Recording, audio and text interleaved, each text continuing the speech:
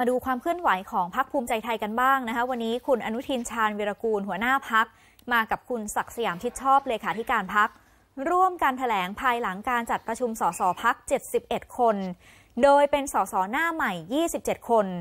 อาจจะขาดบางส่วนที่ตอนนี้ติดภารกิจอยู่ต่างประเทศ วันนี้คุณอนุทินบอกด้วยว่าเป็นการละลายพฤติกรรมทำความรู้จักเข้าใจการทำงานของพักเพื่อความเป็นเอกภาพ และความพร้อมเข้าไปทำหน้าที่สสตั้งแต่วันที่ 3 กรกฎาคม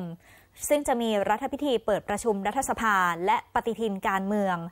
หลังจากนั้นก็คิดว่าทุกอย่างจะเป็นไปตามคันลอง โดยยังไม่ได้หารือที่ทางการโหวตเลือกประธานสภาผู้แทนราษฎร พร้อมกันนี้ยังขอฉันทามติ ให้หัวหน้าและเลขาธิการพักตัดสินใจในการทำหน้าที่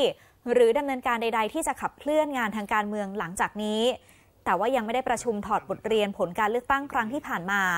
โดยจะรอหลังตั้งรัฐบาลเรียบร้อยแล้วค่ะ รวมทั้งยังไม่ได้คุยกันเรื่องแนวคิดที่จะให้ 50 สส ตรวจสอบคุณสมบัติของคุณพิธาลิ้มเจริญรัตหัวหน้าพักก้าวไกลหรือ ยังไม่ได้หารือกันนะคะเรื่องการเลือกประธานสภา เพราะเป็นเรื่องที่พักอันดับหนึ่งจะดำเนินการค่ะพักภูมิใจไทยจะไม่เปิดให้ฟรีโหวตแม้ว่าจะเป็นเอกสิทธิ์ของสส แล้วก็ย้ำว่าแค่ข่าวลือนะไอ้ที่ว่ามีการไปตั้งสูตรจัดตั้งรัฐบาลกันเนี่ยมีทั้งภูมิใจไทยเพื่อไทยพลังประชารัฐ และย้ำว่าพักภูมิใจไทยจะไม่ร่วมงานกับทางพักการเมือง ที่มีนโยบายแก้ไขมาตรา 112 ค่ะ สูตรนี้เป็นสูตร ผู้สื่อข่าว มันไม่ใช่สูตรของพรรคภูมิใจไทย ตอนนี้พรรคภูมิใจไทยก็ต้อง อยู่สามบทสวด อยู่ให้เป็นเย็นให้พอรอให้ได้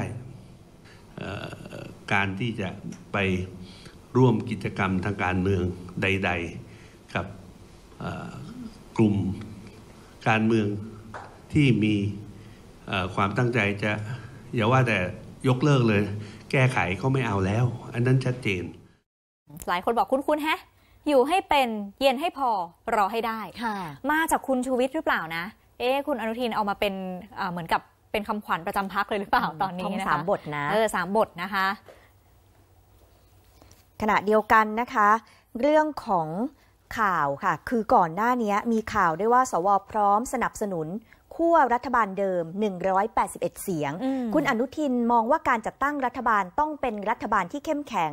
รัฐบาลเสียงข้างน้อย ไม่น่ารอด รอวันตายใครจะไปทำสิ่งเหล่านั้นและทำเพื่ออะไร พูดชัดเจนเลยนะคะ เพราะเป็นเรื่องบ้านเมือง ต้นไม่สนับสนุนตั้งรัฐบาลเสียงข้างน้อยอืมเหมือนกับตั้งไปก็เหนื่อยใช่ไหมอ๋อตั้งไปก็เหนื่อยจะโหวตอะไรก็ไม่ผ่านแบบเนี้ยค่ะ คุณอนุทินบอกว่าไม่ตั้งหรอกอยู่นะได้ก็ไม่นานอ่าแบบนี้นะคะ